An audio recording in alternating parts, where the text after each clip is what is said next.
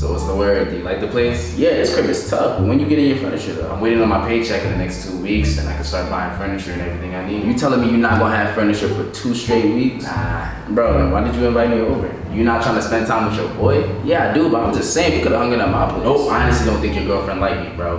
Mean, I'm not even trying to be rude or nothing, but she kind of an asshole, bro. So I had to like, You right, I'm not gonna lie, she don't like you. You know what? I shouldn't say that. She fucking hates you. Hungry? I mean, I could eat, but like, if you don't have bread to spend on food, then you don't have to serve me, bro. Nah, bro, I got you. You my guest. Bon appetit, my friend. This is not what I was talking about when I was talking about bread, bro. What you mean? This is what I got. You joking, right? This is all you got to eat? It's like, now let me stop playing with you. You play too much. I can't be giving you a whole piece of bread. You will be stuffed. Oh my god, bro. and you can't lie, I be giving you better eats than your girl, right? yeah. Bro, I told you this song is fire, You right, you right, you right, you right. That shit was fire. You might play use your bathroom though? Oh yeah, go ahead, uh, go upstairs. It's gonna be the first door in front of Alright, me. bet.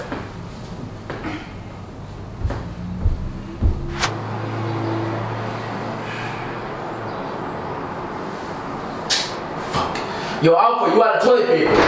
Sorry, bro. Yo, what the fuck? What you barging in for? Bro, relax. Here you go, my last piece. What the fuck is this? Toilet paper like you asked for. How the fuck am I supposed to wipe my ass for this? It's not even a full piece. Bro, you gotta be more efficient. People be wasting toilet paper nowadays. You know what? I got you. Let me wipe for you. No, back the fuck up and pause. You should be honored that I'm giving you the last piece of toilet paper. After every last piece, I have no choice but to use the leaves outside. Bro, get out. Bro, why are you being so hostile? I'm just trying to help you Bro, out. get the fuck out. Okay, get out. get out. Leave.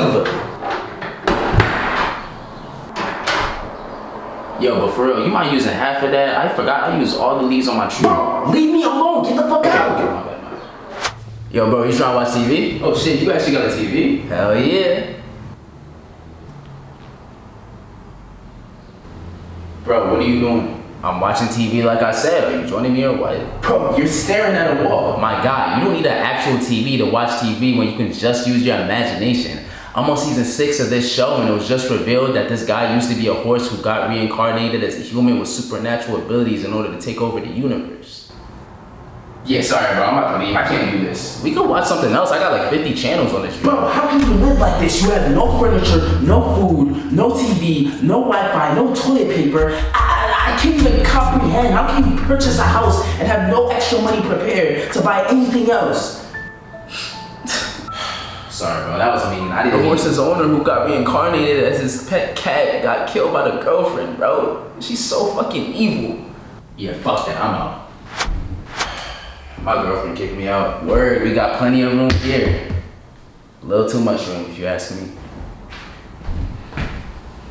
Holy shit, the girlfriend used to be a fish and got reincarnated as the evil side of the main character. And since they can't coexist in the same world, she has to kill him? That's fucking crazy. That's what I'm saying. This season is fucking crazy.